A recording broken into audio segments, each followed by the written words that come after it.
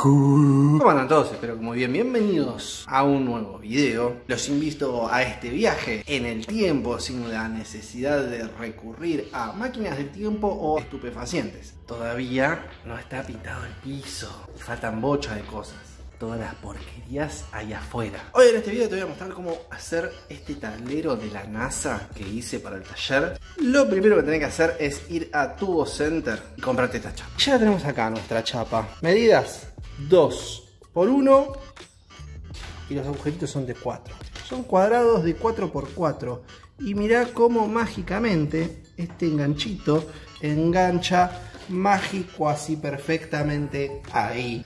Y acá es donde vamos a hablar de, los numbers, ¿está bien? Porque esa chapa que está ahí vale 4 mil pesitos. Hoy, 29 de octubre, está 4 mil pesos y eh, un tablero de similares dimensiones, no de exactamente las mismas dimensiones, estamos hablando de uno de 2 metros por 80 centímetros, vale 8 mil pesos. O sea que estamos en material por el momento en la mitad del precio. Pero ¿cuál es la gran diferencia por sobre todas las cosas? Yo no sé si habrás visto los tableros, las calidades de los tableros o cómo están hechos esos tableros. No se requiere una chapa muy, muy gruesa. Acá estamos hablando de 0, calibre creo que es 0,9, casi un milímetro. Es una chapa bastante potente. Las chapas de los tableros eh, comerciales son chapas bastante finitas. No digo que estén mal o que sean de mala calidad.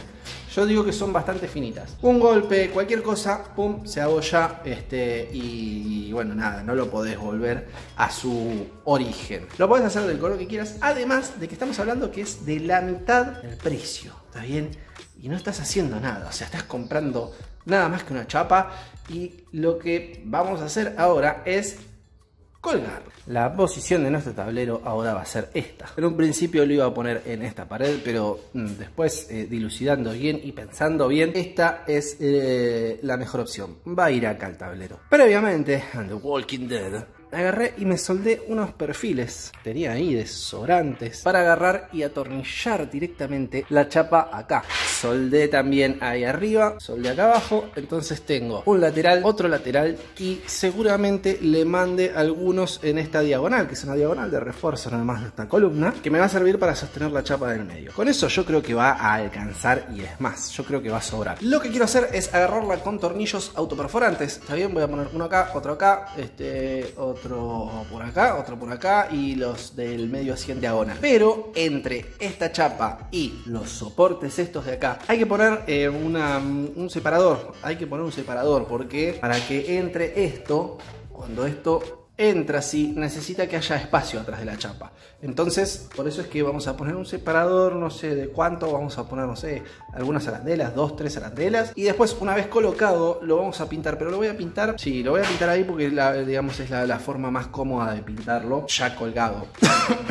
si te fijas cuando lo vayas a comprar, a la hora de colocarlo, tocala y vas a ver que tiene un sentido, o sea, tiene, tiene una posición la chapa. No es que tiene una posición, sino que tiene de, este lado está como suavecito y de este lado de atrás está como que raspa un poquito más. Este lado que es el suavecito va a ser el frente de nuestro tablero en donde vamos a colgar todos estos cositos y vamos a armarlo a gusto y piacere.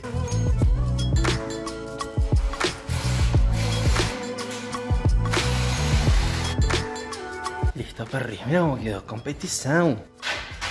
Eso, prolijín. Bien ahí, bien acá.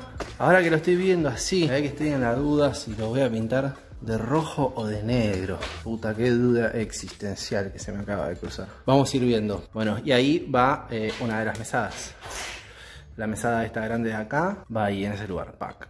Dos arandelas biseladas. Ya con eso, con eso me alcanza para agarrar y mandar esto acá atrás. Ahí está.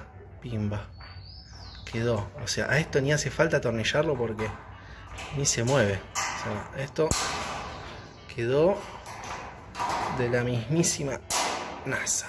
Creo yo que lo vamos a pintar de negro.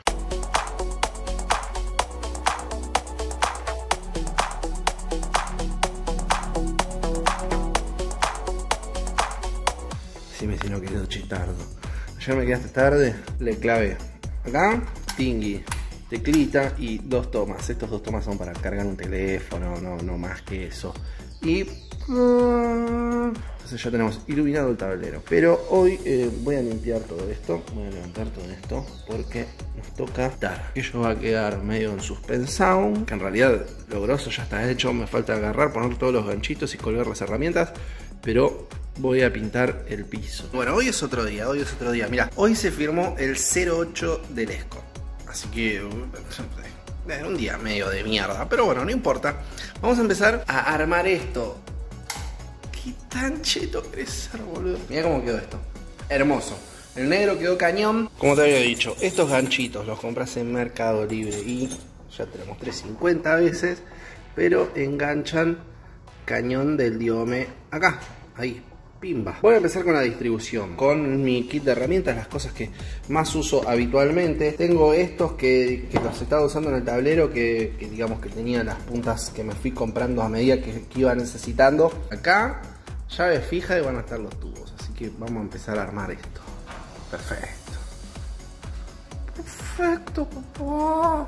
Vamos a terminar de armar todo esto y te muestro cómo queda todo en así. 3, 2, 1. Ah, pará, pará, pará, porque esto esto me está encantando. Para porque la, luz no está, no está buena para grabar para arriba, pero acá en la mesa se ve cañón, ahí se ven las papas, ahí se ven las birras. Bueno, no, no voy a estar haciendo así con cada cosa que cuelgue. Voy a terminar con este tablero. No sé si me va. No sé si me va a dar como para ocuparlo todo, las herramientas y los ganchitos. Pero vamos a volver con esto ya, ya, ya. Finiquitado.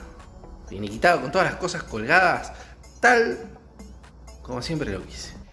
Mira cómo quedó esto. Chabong. Chabong.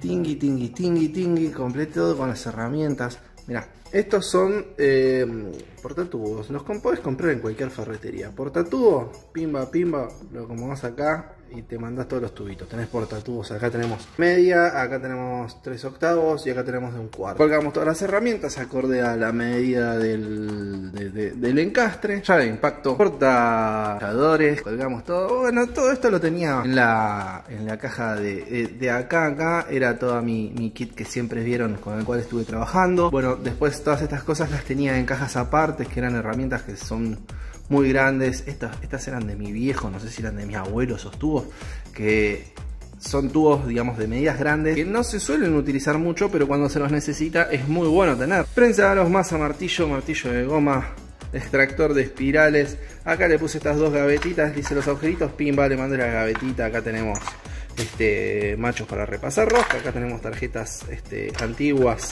con las cuales usamos para pasar masilla. Tenemos Cosas que se utilizan.